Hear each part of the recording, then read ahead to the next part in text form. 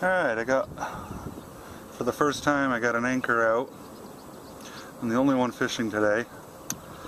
The uh, police are enforcing the no trespassing all the way around the pond. So uh, nobody's here except me.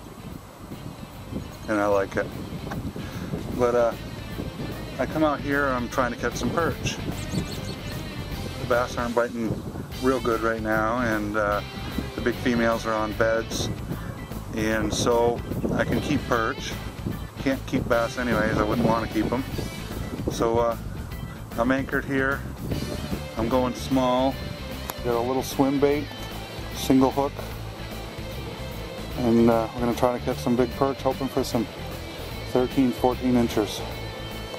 Here we go. Okay, didn't take long.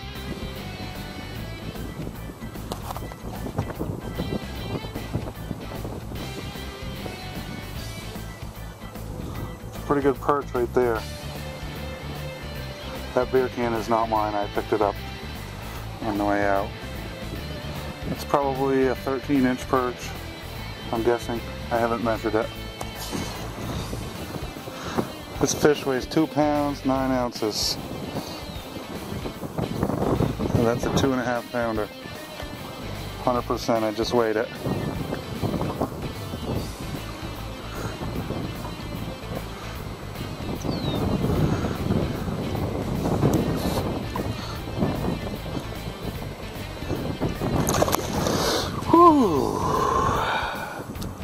That was refreshing.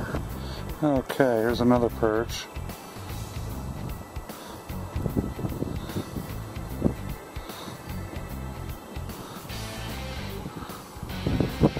It's a good one. There's number three.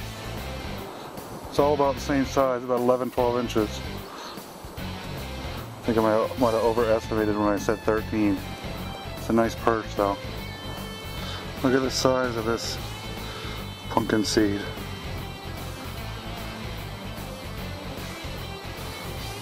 It weighs eight ounces, half a pound. Beautiful fish.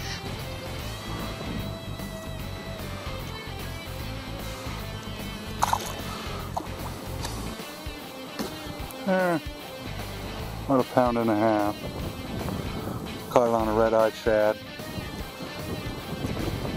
Did it a splash? There it goes. Oh, there's a slab for you.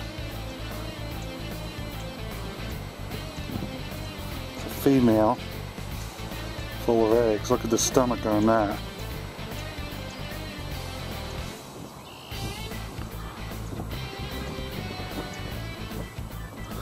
That's a nice pumpkin seed. Beautiful fish. Ready for a little splash? No. Alright, so I'm home now and this is what I ended up with.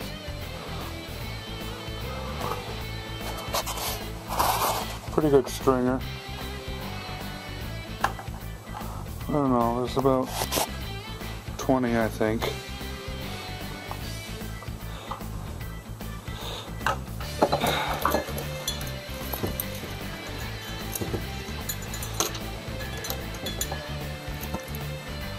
Oh, I guess I didn't count them where I got 16 altogether.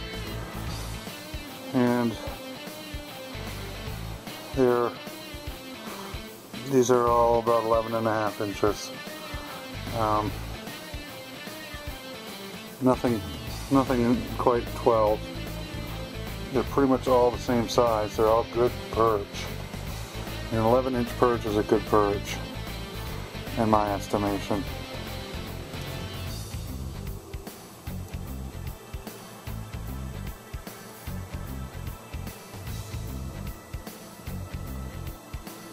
Okay, time to fillet.